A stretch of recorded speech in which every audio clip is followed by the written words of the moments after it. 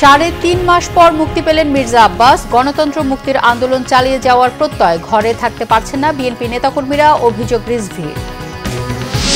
সীমান্ত রক্ষায় সদা জাগ্রত বাংলাদেশ, বললেন ওবায়দুল কাদের, জাতীয় পার্টির ভাঙনে আওয়ামী লীগের হাত থাকার অভিযোগ অস্বীকার। জিআই পণ্যের তালিকা তৈরি ও রেজিস্ট্রেশনে কর্তৃপক্ষের ব্যর্থতা কেন অবৈধ হবে না হাইকোর্টের রুল? তালিকা দাখিলের নির্দেশ। বিভিন্ন দেশের কারাগারে আটক নয় হাজারেরও বেশি প্রবাসী, সবচেয়ে বেশি সৌদি আরবে, সংসদে জানালেন পররাষ্ট্রমন্ত্রী। ঝুঁকি না থাকলেও একুশে ফেব্রুয়ারিতে শহীদ মিনার ঘিরে পুলিশের চার স্তরের নিরাপত্তা, ব্যানার, ফেস্টুন, মিছিল, নিষেধ।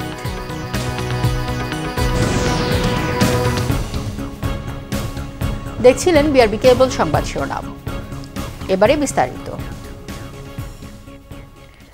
বিএনপির স্থায়ী কমিটির সদস্য মির্জা আব্বাস জামিনে মুক্ত হয়েছেন। সোমবার সন্ধ্যায় কেরানীগঞ্জে ঢাকা কেন্দ্রীয় কারাগার থেকে বেরিয়ে আসেন তিনি।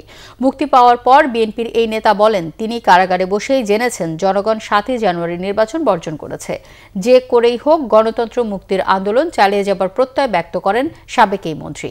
গ্যালমান শফির রিপোর্ট। বিএনপির স্থায়ী কমিটির সদস্য মির্জা আব্বাসের মুক্তি পাওয়ার খবরে দুপুরের পর থেকেই কেরানীগঞ্জে কেন্দ্রীয় কারাগারের সামনে তার স্ত্রী, মহিলা দলের সভাপতি আফরুজা আব্বাস সহ নেতাকর্মীরা জড়ো হতে থাকেন।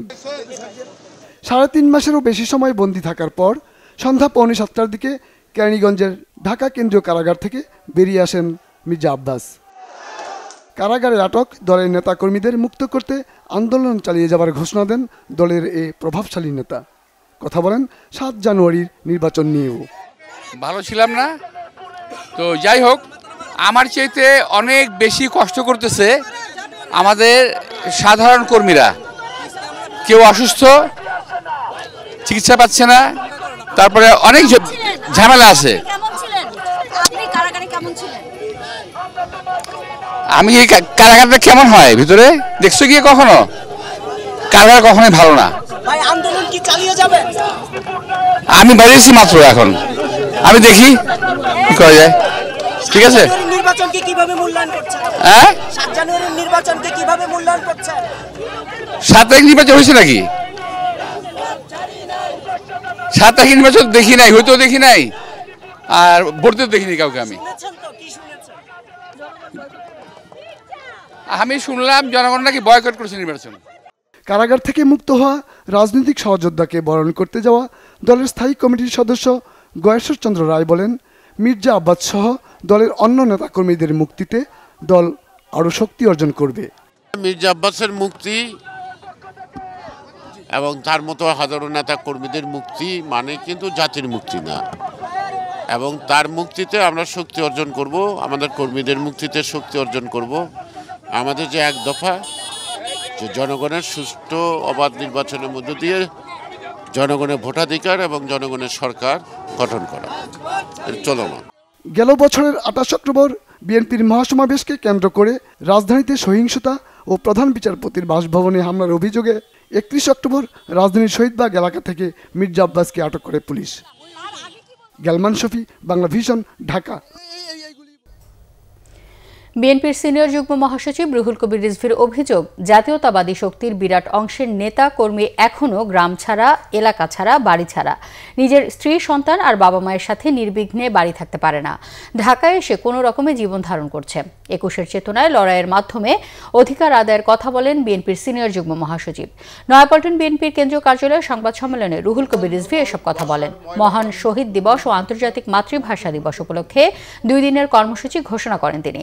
কর্মসূচির মধ্যে রয়েছে ভাষা আন্দোলনে শহীদদের স্মরণে বিশ ফেব্রুয়ারি আলোচনা সভা, একুশ ফেব্রুয়ারি ভোরে আজিমপুরে ভাষা শহীদদের কবর জিয়ারত এবং সেখান থেকে কেন্দ্রীয় শহীদ মিনারে শ্রদ্ধা নিবেদন। কর্মসূচি ঘোষণা করে রিজভি বলেন, আজও বাংলাদেশের মানুষ স্বাধীনতা হারা, এই দেশের মানুষের অধিকার নেই। বৃহস্পতিবার স্থানীয় আওয়ামী সন্ত্রাসীদের আওয়ামী লীগ মাত্র তিন মাসেই বেছে বেছে বিএনপির চৌত্রিশ জন নেতাকর্মীকে খুন করেছে। সরকারি মদদে ও অবহেলায় কারাগারে পনেরো জন নেতাকর্মীর মৃত্যু নিশ্চিত করার পরেও ওবায়দুল কাদের সাহেব, আপনারা কাকে উগ্র শক্তি বলেন? ওবায়দুল কাদের সাহেবকে জিজ্ঞাসা করি, গণতান্ত্রিক বিশ্বের তালিকায় বাংলাদেশের নাম নেই কেন? গণতন্ত্রের সূচকে বাংলাদেশের আরও পতন হচ্ছে কেন? আওয়ামী লীগ সাধারণ সম্পাদক ওবায়দুল কাদের বলেছেন, বিএনপি নেতাদের বক্তব্য পাগলের প্রলাপ। সীমান্ত রক্ষায় বাংলাদেশ সদা জাগ্রত বলেও জানান তিনি। আওয়ামী লীগ সাধারণ সম্পাদক বলেন, সীমান্তে নিরাপত্তা ঝুঁকি থাকতে পারে। সংসদে বিরোধী দলের ভাঙনে আওয়ামী লীগের হাত রয়েছে। বিএনপি নেতাদের এমন মন্তব্যে ওবায়দুল কাদের বলেন, এটা জাতীয় পার্টির নিজস্ব বিষয়। এতে সরকারের মাথা ব্যথা নেই। মুহিবুল্লাহ মুহিবের রিপোর্টে বিস্তারিত। রাজধানীর ধানমন্ডিতে আওয়ামী লীগ সভাপতির কার্যালয়ে সাংবাদিকদের সাথে কথা বলেন দলটির সাধারণ সম্পাদক ওবায়দুল কাদের। পাগলের অসংলগ্ন প্রলাপোক্তি। এ সময় ওবায়দুল কাদের বলেন বিরোধী দল হিসেবে কথা বলার চাতুরতা দিয়ে টিকে থাকতে চায় বিএনপি। বিএনপির রাজনীতিতে মিথ্যাচার চিরজীবনই তাদের রাজনীতিতে মিথ্যাচার অপরিহার্য বিষয়।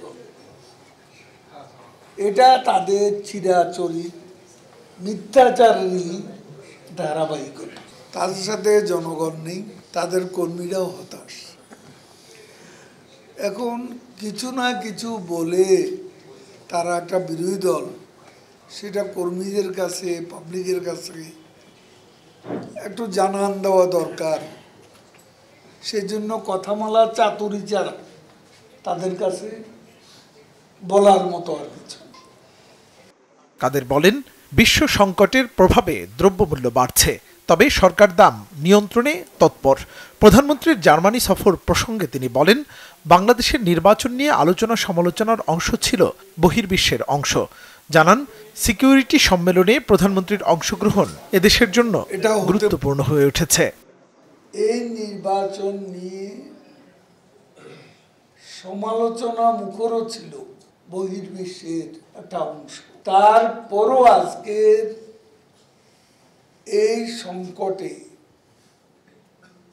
সিকিউরিটির মতো সেন্সিটিভ ইস্যুতে বাংলাদেশের প্রধানমন্ত্রীকে নিমন্ত্রণ করা এবং গুরুত্বপূর্ণ একটা বক্তব্যের অংশীদার করা।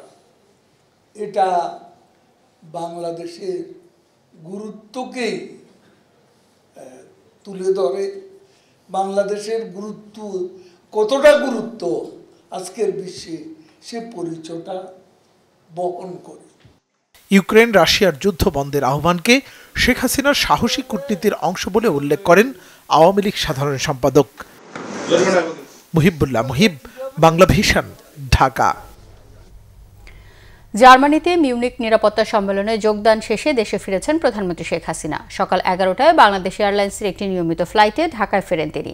হজরত শাহজালাল আন্তর্জাতিক বিমানবন্দরে প্রধানমন্ত্রীকে অভ্যর্থনা জানান মন্ত্রিপরিষদের সদস্য, সামরিক, বেসামরিক প্রশাসনের ঊর্ধ্বতন কর্মকর্তারা। সফরে মিউনিক নিরাপত্তা সম্মেলনে উদ্বোধনীতে যোগ দেওয়ার পাশাপাশি সাইডলাইনে বেশ কয়েকটি দেশের রাষ্ট্র ও সরকার প্রধানের সাথে বৈঠক করেন তিনি। এছাড়া জার্মানিতে প্রবাসী বাংলাদেশিদের দেয়া সংবর্ধনা অনুষ্ঠানেও অংশ নেন সরকার প্রধান। দ্বাদশ জাতীয় সংসদ নির্বাচনে জয়লাভ করে দায়িত্ব নেয়ার পর গত পনেরোই ফেব্রুয়ারি চার দিনের সফরে যান সফরে জার্মানি যান প্রধানমন্ত্রী শেখ হাসিনা।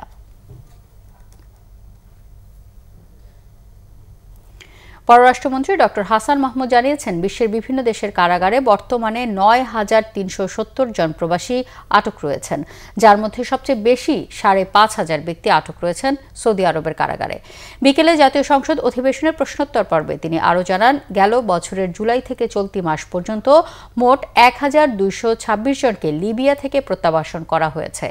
এছাড়াও মিয়ানমার ও মধ্যপ্রাচ্যের বিভিন্ন জেলখানা থেকে আরও উনিশশো পঞ্চাশ জন বাংলাদেশিকে ফেরত আনা হয়েছে। মন্ত্রী জানান, সংশ্লিষ্ট দেশগুলোয় বাংলাদেশের দূতাবাসগুলো নিয়মিতই বন্দীদের সাথে সাক্ষাৎ করেন। এছাড়াও তাদের মুক্তির বিষয়ে সংশ্লিষ্ট জেল কর্তৃপক্ষের সাথে নিবিড় যোগাযোগ রক্ষা করে চলেছেন। এদিকে সাবেক পররাষ্ট্রমন্ত্রী এ কে আব্দুল মোমেনের প্রশ্নের জবাবে স্বরাষ্ট্রমন্ত্রী আসাদুজ্জামান খান জানিয়েছেন, দেশে বিশৃঙ্খল পরিস্থিতি সৃষ্টি হলে তদন্তের স্বার্থেই মামলায় প্রাথমিকভাবে একশো থেকে পাঁচশো জনের নাম থাকে। তবে চার্জশিটে এত মানুষের নাম থাকে না। দেশে পুলিশ বাহিনী যথেষ্ট আধুনিকায়ন হয়েছে দাবি করে স্বরাষ্ট্রমন্ত্রী জানান, বাহিনীতে জনবল সংকট দূর করবে সরকার।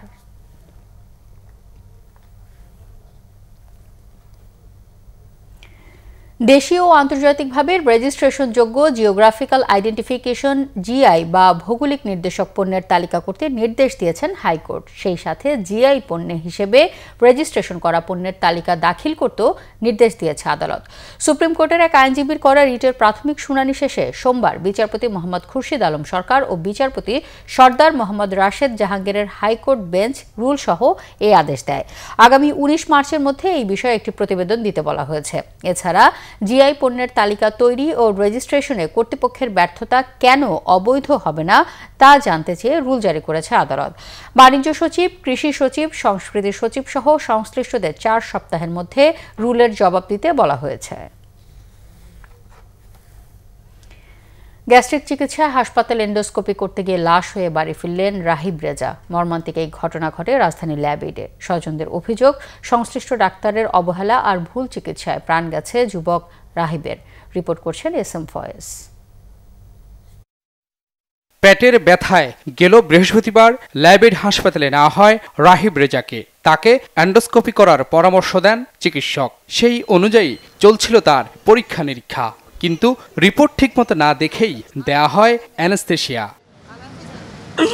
আমার দুই বছরের একটা বাচ্চা ছোট বাচ্চা। অ্যানেস্থেশিয়া দেওয়ার দীর্ঘ সময় পরও জ্ঞান না ফেরায় বিচলিত স্বজনরা দেখতে চান তাকে। দেখতে না দিয়ে তাদের জানানো হয় লাইফ সাপোর্টে নেওয়া হয়েছে রাহিবকে। তিন দিন লাইফ সাপোর্টে রাখার পর সোমবার রাহিব রেজাকে মৃত ঘোষণা করে ল্যাবেড হাসপাতাল। ডক্টর স্বপ্নে লিচু ক্লিয়ারলি প্রথমে বলছিলই না। তো শুরুতে যখন আমরা ছিলাম আমরা সবার সাথে কনসাল্ট করতে চাচ্ছিলাম যত পরিচিত মানুষ আছে। যখনই সবাই সব ডক্টর স্বপ্নিলের নাম শুনেছে সবাই ভয় পেয়েছে যে তার এগেনস্টে আসলে আমরা কিছু করতে পারব না। অ্যানেস্থেশিয়া তারপর অবজার্ভ করবে অবজার্ভ করে নাই। জাস্ট একটা অক্সিজেন মাস্ক দিয়ে বসে রাখছে কিসের জন্য? আমার হাজবেন্ডে সেটা ভুল করল বুঝলাম। আমার হাজবেন্ড তার কি ক্ষতি করছিল আমার হাজবেন্ড সুস্থ মানুষ গেছিল। অ্যানেস্থেশিয়া দিছে তাদের ভুল হইছে ঠিক করতো আমার হাজবেন্ড আমার হাজবেন্ড পয়সা রাখতো আমার দুই বছর একটা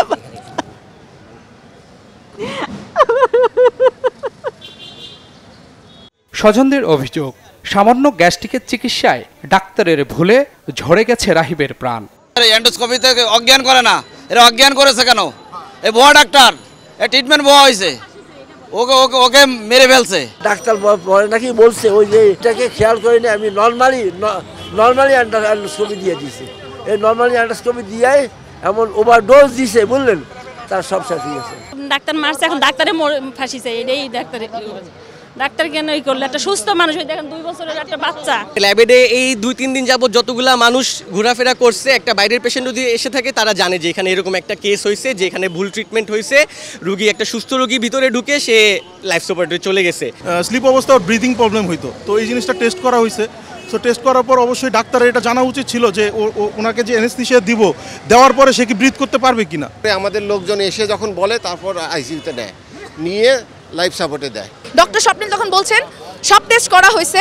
আমরা বললাম টেস্টের রিপোর্ট কি দেখা হয়েছিল? কারণ তার তো রিপোর্টগুলো ভালো ছিল না। সে বলছে বাংলাদেশের প্রেক্ষাপটে কি প্রত্যেকটা রোগীর ইন্ডিভিজুয়ালি দেখা সম্ভব?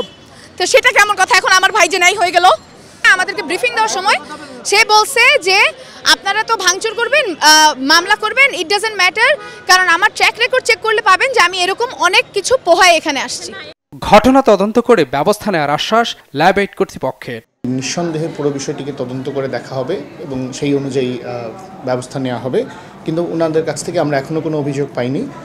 আর সবচেয়ে বড় কথা হচ্ছে একেবারেই মেডিকেল প্রোটোকল মেনটেন করেই সব কিছু হচ্ছিল। একজন বিশেষজ্ঞ ডাক্তারের তত্ত্বাবধানে হচ্ছিল।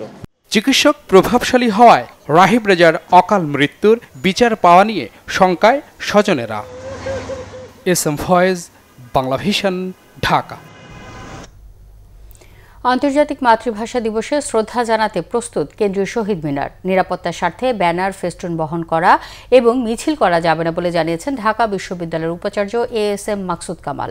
এদিকে আন্তর্জাতিক মাতৃভাষা দিবসে নিরাপত্তার কোনো ঝুঁকি নেই, তবুও শহীদ মিনার কেন্দ্রিক চার স্তরের নিরাপত্তা ব্যবস্থা নেওয়া হয়েছে বলে জানিয়েছেন Dhaka metropolitan police commissioner Habibur Rahman. বিস্তারিত জানাচ্ছেন জিয়া খান। ভাষা শহীদদের শ্রদ্ধা জানাতে পুরোপুরি প্রস্তুত কেন্দ্রীয় শহীদ মিনার। একুশে ফেব্রুয়ারির প্রথম প্রহরে রাষ্ট্রপতি, প্রধানমন্ত্রীর শ্রদ্ধা নিবেদনের পরেই কেন্দ্রীয় শহীদ মিনার উন্মুক্ত করে দেয়া হবে সর্বস্তরের শ্রদ্ধা নিবেদনের জন্য। তার আগে বারবার ঘুরে ফিরে আসে নিরাপত্তার প্রশ্ন।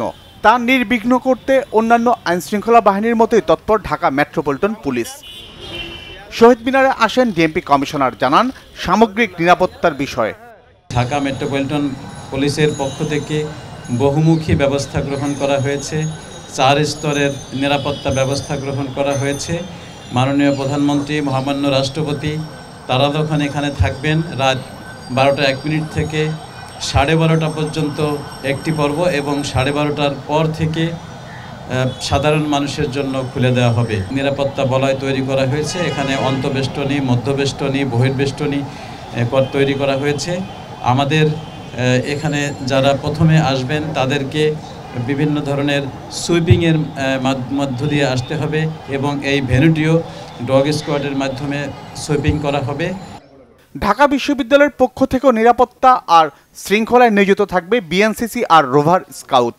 জনসাধারণের পলাশি মোড় হয়ে সলিমুল্লাহ হল এবং জগন্নাথ হলের সামনে সামনে দিয়ে শহীদ মিনারে যাবেন। শহীদ মিনারে শ্রদ্ধাঞ্জলি অর্পণের পর সেখান থেকে বিশ্ববিদ্যালয় খেলার মাঠের সামনের রাস্তা দিয়ে দোয়েল চত্বর এবং পেছনের রাস্তা দিয়ে চানখার পোল হয়ে শুধুমাত্র প্রস্থান করা যাবে, শহীদ মিনারের দিকে আসা যাবে না। ভাব গাম্ভীর্য এবং মর্যাদার সাথে ওমর একুশ পালনের লক্ষ্যে শহীদ মিনার এলাকায় কোনো মিছিল বা সমাবেশ করা যাবে না এবং শহীদ মিনার এলাকায় ব্যানার, পোস্টার বা ছবি টাঙানো যাবে না। প্রধানমন্ত্রী হিসেবে কেন্দ্রীয় শহীদ মিনারের বেদিতে এবার সহ একুশ বার পুষ্প স্তবক অর্পণ করবেন শেখ হাসিনা। সেই দুর্লভ ছবি নিয়ে শহীদ মিনার এলাকায় একটি প্রদর্শনীও করবে ঢাকা বিশ্ববিদ্যালয় কর্তৃপক্ষ। জিয়া খান, বাংলা ভিশন, ঢাকা। গত কয়েক বছরের তুলনায় অমর একুশের বইমেলা বেশি জমজমাট। স্বজন, পরিজন বন্ধু বান্ধব সহ অনেকেই ছুটে আসছেন এই প্রাণের মেলায়। ঘুরে ঘুরে দেখছেন, কিনছেন পছন্দের বই। উপন্যাসে আগ্রহ থাকলেও কবিতার বই এবার আগ্রহ কম। আসমা আক্তার নুপুরের রিপোর্ট, ক্যামেরায় ছিলেন লিটন খান। এবারের মেলায় বই সাজানো হয়েছে ছয়শো পঁয়ত্রিশটি প্রতিষ্ঠানের নয়শো সাঁত্রিশটি ইউনিটে। মধ্য ফেব্রুয়ারির পর থেকে জমে উঠেছে মেলা প্রাঙ্গণ। কালের আবহে সাহিত্য চর্চার শেকড় কবিতা পাঠের সেই আগ্রহ নেই তরুণদের। ঝোঁক বাড়ছে সায়েন্স ফিকশন রোমান্টিক গল্প উপন্যাস ও ভূতের গল্পে। আছে বড়লোক হওয়ার মন্ত্র বইয়ের দিকেও। যে কীভাবে তাড়াতাড়ি টাকা আর্নিং করা যায় আমি ওইসব বই বেশি পড়ি আর ওগুলো খুঁজতে আছি এখনও বই কেনা হয়নি আর আমার ভূতের বই পছন্দ। বিভিন্ন বই দেখি বিশেষ করে আমার ছেলে মেয়েকে নিয়ে আসি। এদের যে বই পছন্দ লাগে বিভিন্ন গল্পের বই ভূতের বই ওরা কিনে কবিতা না কবিতা খুব একটা পছন্দ না বাট হচ্ছে আমার সাহিত্য পড়তে বেশি ভালো লাগে। লেখক প্রকাশকরা জানান এবার মেলা জমেছে বাড়ছে পাঠকও। কবিতার বইয়ের প্রতি আগ্রহ কমায় আফসোস তাদের। আমার স্কুল চত্বরে বিভিন্ন কাজ থেকে দেখা ঘটনা হয়তোবা নিজের জীবন থেকে দেয়া কিছু ঘটনা সব খণ্ড খণ্ড অংশ মিলে আমি বইটা লিখেছি। উপন্যাসের তুলনায় কবিতার বই- বই বিক্রি হিসাবে নেই। মানে একেবারে খুবই খারাপ। উপন্যাস আছে তারপরে গবেষণা ভিত্তিক কয়েকটা বই আসছে সেগুলো ভালো বিক্রি হচ্ছে। ডিজিটাল যুগ কাজে সবাই নেটে পেয়ে যাচ্ছে সব কবিতা। কাজে বই পড়ার প্রতি আগ্রহটা অনেকটা কমে আসছে লোকজনের। কবিতার বই তো পাঠকদের কাছেও যেমন ইয়ে কম চাহিদা কম আগ্রহ কম প্রকাশকরাও কিন্তু কবিতার বই বের করতে চান না। অনেক প্রতিষ্ঠিত কবির কবিতার বইও বের করতে গিয়ে ঝামেলা পোহাতে হয়। কিন্তু তারা চায় উপন্যাস ভ্রমণ কাহিনী, এগুলোর চাহিদা বেশি বা সায়েন্স ফিকশন প্রযুক্তির প্রতি তারুণ্যের ঝোঁক থাকায় কবিতা পড়ায় আগ্রহ হারাচ্ছে বলে মত কবিদের। আসমাক্তার নুপুর, বাংলা ভিশন, ঢাকা। বইমেলায় দেশপ্রেমিক বইয়ের মোড়ক উন্মোচন করেছেন জাতীয় সংসদের বিরোধী দলীয় নেতা ও জাতীয় পার্টির চেয়ারম্যান জি এম কাদের। অবসরপ্রাপ্ত মেজর শিকদার আনিসুর রহমানের লেখা এই বইটি সোমবার বিকেলে মেলার সোহরাওয়ার্দী উদ্যানের মোড়ক উন্মোচন মঞ্চে উন্মোচিত করেন জি এম কাদের। এ সময় তিনি বলেন, অমর একুশে বইমেলা দেশের সাংস্কৃতিক অঙ্গনে নতুন ধারা সৃষ্টি করেছে। এর মাধ্যমে মানুষের বই কেনার প্রতি আগ্রহ বাড়ছে বলেও জানান তিনি। মোড়ক উন্মোচন শেষে মেলার সোহরাওয়ার্দী প্রাঙ্গণ ঘুরে দেখেন জি এম কাদের।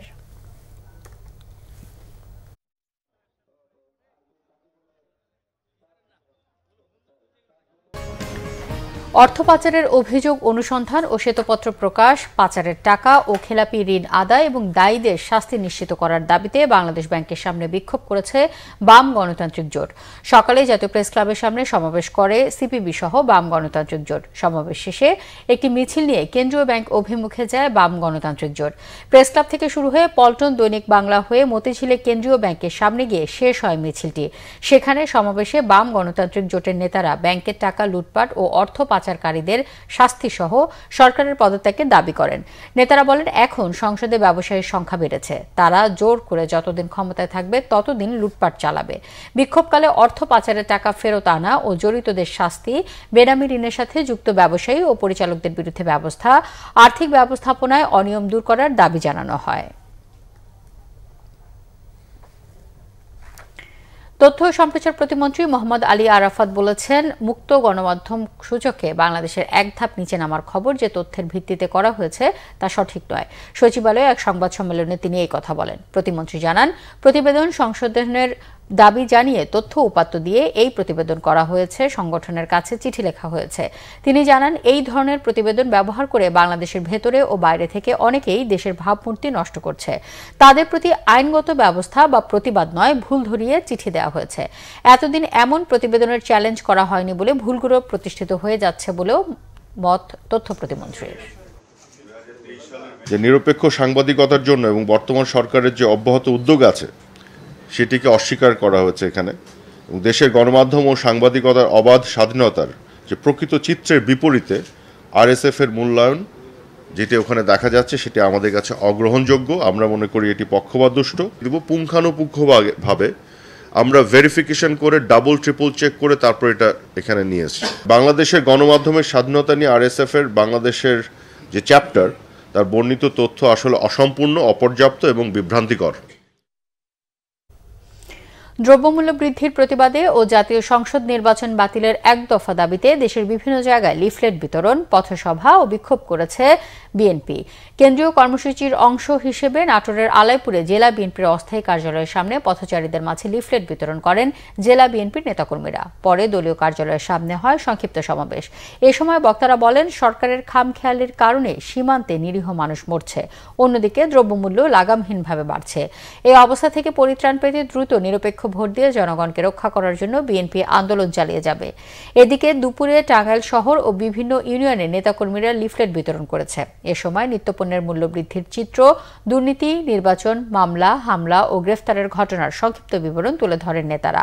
উপস্থিত ছিলেন জেলা বিএনপির সাধারণ সম্পাদক অ্যাডভোকেট ফরহাদ ইকবাল, শহর বিএনপির সভাপতি মেহেদি হাসান আলিম ও সাধারণ সম্পাদক এজাজুল হক সবুজ সহ আরও অনেকে। বাংলাদেশ টেলিযোগাযোগ নিয়ন্ত্রণ কমিশন বিটিআরসির চেয়ারম্যান ইঞ্জিনিয়ার মহিউদ্দিন আহমেদ বলেছেন, প্রযুক্তি খাতে বাংলাদেশ উন্নত বিশ্বের থেকে কোনো অংশে পিছিয়ে নেই। এই খাতে বাংলাদেশ গত পনেরো বছরে অনেক এগিয়েছে।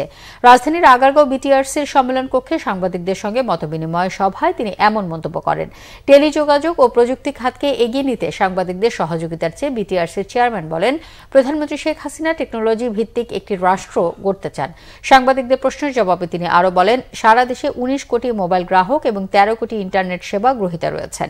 এদের নিরবচ্ছিন্ন সেবা নিশ্চিত করতে কাজ করছে বিটিআরসি। এ সময় বিটিআরসির পক্ষ থেকে আরও জানানো হয়, মোবাইল অপারেটর কোম্পানিগুলো যাতে কল রেট ও ইন্টারনেটের দাম না বাড়ায় সেই নির্দেশনা দেওয়া হয়েছে। সারা দেশে অনলাইন জুয়া এবং পর্নোগ্রাফি বন্ধে বিটিআরসি কাজ করছে বলেও জানান বিটিআরসির চেয়ারম্যান। আরও কিছু খবর নিয়ে দেখুন একটি desk report.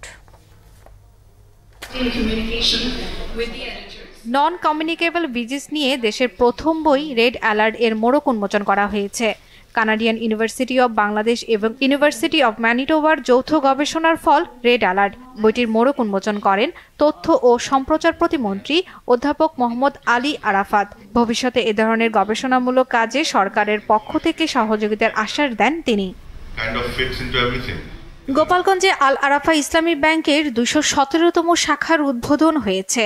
টুঙ্গিপাড়ায় বঙ্গবন্ধু সমাধিতে শ্রদ্ধা নিবেদনের পর নতুন শাখাটির উদ্বোধন করেন আল আরাফা ইসলামী ব্যাংকের চেয়ারম্যান আব্দুস সামাদ লাবু। এ সময় উপস্থিত ছিলেন ব্যাংকের এক্সিকিউটিভ কমিটির chairman Selim Rahman, vice chairman Mohammad Abdus Salam, পরিচালক আহমেদুল হক, লিয়াকত আলী চৌধুরী সহ আরও অনেকে। সিলেটের জিন্দাবাজারে আলহামরা শপিং সিটিতে অনুষ্ঠিত হতে যাচ্ছে স্টাডি সলিউশন এডুকেশন এক্সপো দুই হাজার চব্বিশ। এতে অংশ নেবে ইউকে ইউএসএ অস্ট্রেলিয়া এবং কানাডার শীর্ষস্থানীয় বিশ্ববিদ্যালয়গুলো। এক্সপোতে অংশগ্রহণকারীদের জন্য থাকছে গভর্নমেন্ট ও প্রাইভেট ফান্ডেড স্কলারশিপ সহ শতভাগ পর্যন্ত স্কলারশিপের সুযোগ। আইএলটিএলস রেজিস্ট্রেশনের উপর শতভাগ ক্যাশব্যাক অফারও রয়েছে বলে জানিয়েছেন আয়োজকরা। ষোলো সফল চাষিকে পুরস্কার ও সম্মাননা দিয়েছে ইউরোপিয়ান ইউনিয়নের অর্থায়নে world fish Artemia for Bangladesh. Cox's Bazar স্থানীয় একটি হোটেলে মৎস্য অধিদপ্তরের principal scientific officer Abdur Rouf এবং বিএফআরআই এর মহাপরিচালক জুলফিকার আলী চাষিদের হাতে পদক তুলে দেন। একুশে বইমেলায় এসেছে ব্র্যাক ব্যাংকের সাতান্ন জন সহকর্মীদের লেখা সাতষট্টিটি ছোট গল্প, কবিতা, প্রবন্ধ, ভ্রমণ কাহিনী, স্মৃতিগল্প ও রম্য রচনার বৈচিত্র্যময় সংকল্প প্রতিস্বর। ব্যাংক রিডিং ক্যাফের উদ্যোগে এই বইটি পাওয়া যাচ্ছে রচয়িতা প্রকাশনার পাঁচশো নব্বই নম্বর স্টলে। এছাড়া বিভিন্ন বইয়ের দোকানেও পাওয়া যাবে সংকল্পটি। মোড়ক উন্মোচন অনুষ্ঠানে উপস্থিত ছিলেন ব্র্যাক ব্যাংকের ম্যানেজিং ডিরেক্টর ও CEO Selim R F Hossain. Union ব্যাংকের দুটি উপশাখার উদ্বোধন করা হয়েছে। উপশাখা দুটি হল চট্টগ্রামের রাজারহাট উপশাখা ও কক্সবাজারের কালারমার ছড়া উপশাখা। ঢাকা থেকে ভিডিও কনফারেন্সের মাধ্যমে উপশাখা দুটির উদ্বোধন করেন ব্যাংকের ব্যবস্থাপনা পরিচালক ও CEO A B M Mokammel Haque Chowdhury. ব্যাংকের উপব্যবস্থাপনা পরিচালক জাহাঙ্গীর আলম, এরশাদ মাহমুদ, আলহাজ আবু জাফর, আবু আহমদ ও ইকবাল হোসেন সহ ঊর্ধ্বতন কর্মকর্তারা এ সময় উপস্থিত ছিলেন। Bangla vision news desk. সংবাদ শেষ করব বিআরবি কেবল শিরোনামগুলো আরেকবার জানিয়ে। সাড়ে তিন মাস পর মুক্তি পেলেন মির্জা আব্বাস। গণতন্ত্র মুক্তির আন্দোলন চালিয়ে যাওয়ার প্রত্যয়, ঘরে থাকতে পারছেন না বিএনপি নেতাকর্মীরা, অভিযোগ রিজভির। সীমান্ত রক্ষায় সদা জাগ্রত বাংলাদেশ বলেন ওবায়দুল কাদের। জাতীয় পার্টির ভাঙনে আওয়ামী লীগের হাত থাকার অভিযোগ অস্বীকার। জিআই পণ্যের তালিকা তৈরি ও রেজিস্ট্রেশনে কর্তৃপক্ষের ব্যর্থতা কেন অবৈধ হবে না? হাইকোর্টের রুল, তালিকা দাখিলের নির্দেশ। বিভিন্ন দেশের কারাগারে আটক নয় হাজারেরও বেশি প্রবাসী, সবচেয়ে বেশি সৌদি আরবে, সংসদে জানালেন পররাষ্ট্রমন্ত্রী। ঝুঁকি না থাকলেও একুশে ফেব্রুয়ারিতে শহীদ মিনার ঘিরে পুলিশের চার স্তরের নিরাপত্তা, ব্যানার, ফেস্টুন, মিছিল, নিষেধ।